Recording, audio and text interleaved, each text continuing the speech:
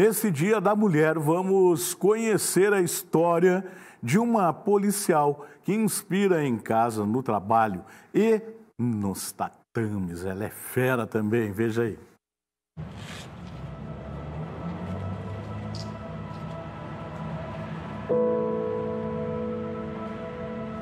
Dividir funções e fazer mais de uma tarefa ao mesmo tempo é o típico dia a dia da mulher brasileira. E para Veridiane, não é diferente. Sua rotina é dividida em quatro papéis que a fazem ser a mulher forte, brilhante e independente que é. Durante os sete dias da semana, 24 horas, ela é mãe, esposa, atleta e também policial militar.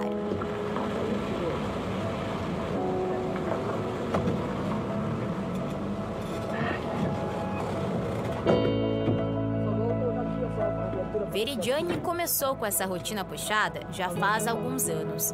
Ela estudava artes na Universidade Federal do Paraná e também era professora de balé.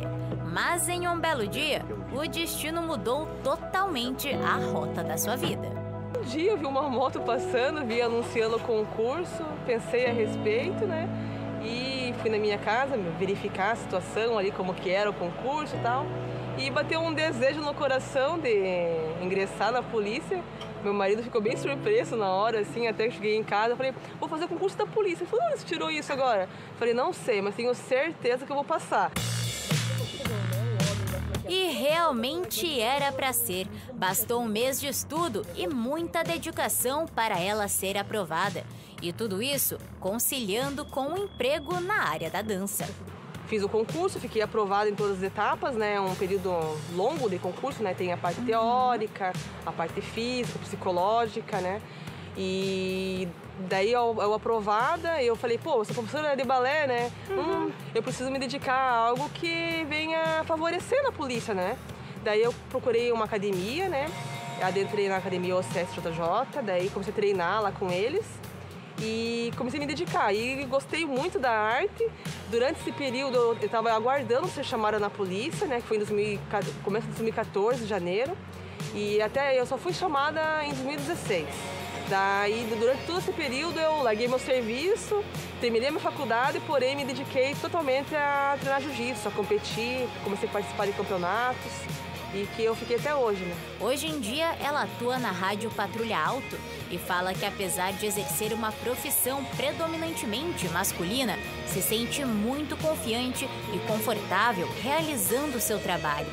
E motiva para que outras mulheres possam também seguir esse sonho, assim como ela se elas têm o desejo, né, que elas se empenhem realmente em estudar, né, porque hoje em dia a concorrência está bem alta, né, as pessoas estão procurando os concursos, né? Então tem que estudar, né? Não tem como, né?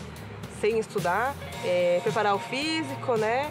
E se puder procurar uma luta, eu acho que é interessante, né? Porque tem momentos que talvez você vai precisar, né? Uhum. É, principalmente se for na, num atendimento de ocorrências, né? Depois de ingressar em 2016 na Polícia Militar do Paraná, dois anos depois, ela decidiu realizar outro sonho em sua vida, o de ser mãe eu tô casada por 10 anos, né? Então, quando eu tive minha filha, eu tava casada 7 anos já. Então, assim, era algo que naturalmente ia acontecer. Eu não ficava pensando, ah, eu vou ser mãe.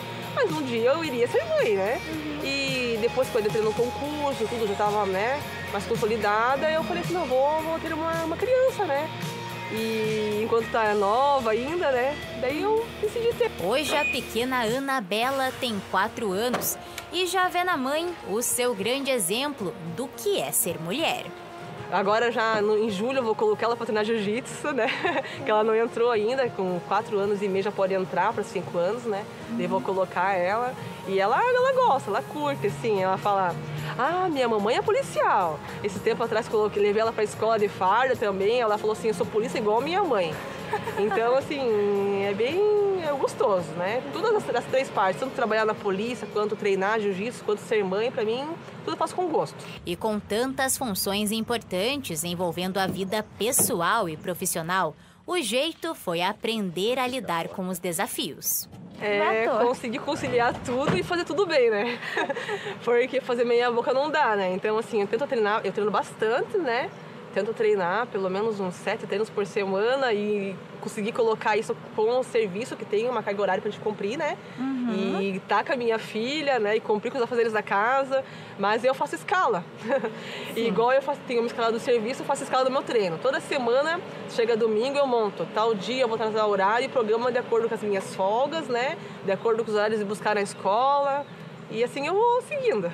É aqui nesse tatame que a Veridiane, que é mãe, esposa, policial e atleta, tira um tempo para si mesma para pensar no seu bem-estar. Não importa se é antes do trabalho ou até mesmo depois, como hoje, que ela veio depois de madrugar em um plantão. Ela sempre coloca o treino em dia para pensar na própria saúde. É, é um momento que eu posso realmente desestressar é realmente onde eu me desestresso. Às vezes estou um pouco cansada, mas por incrível que pareça, eu vim aqui me cansar um pouco mais fisicamente, mas saio com a com, com o psicológico, com a mente bem descansada. Eu encontro energia para cuidar da minha filha, energia para trabalhar. Quando eu fico sem treinar, eu me sinto mais cansada.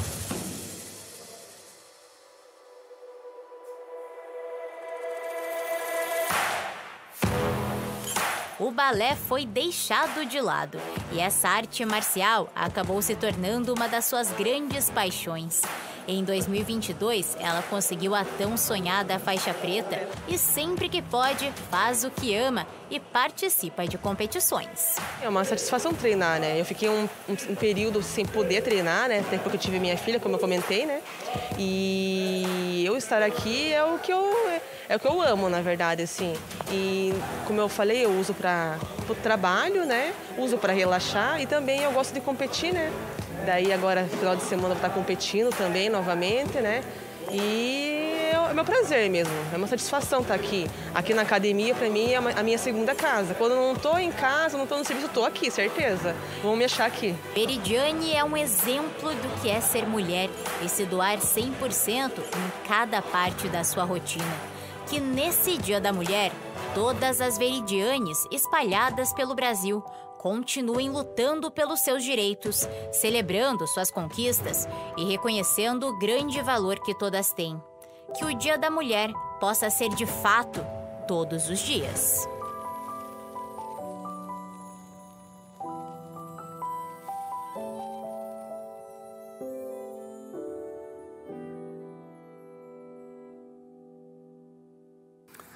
Isso aí, uma guerreira, né? Porque você veja que todas as atividades que ela pratica tem que ter força e vontade. Então aí se diz assim, são várias mulheres uma só. Né? É o caso dela. Parabéns, viu, minha querida? Você é um exemplo.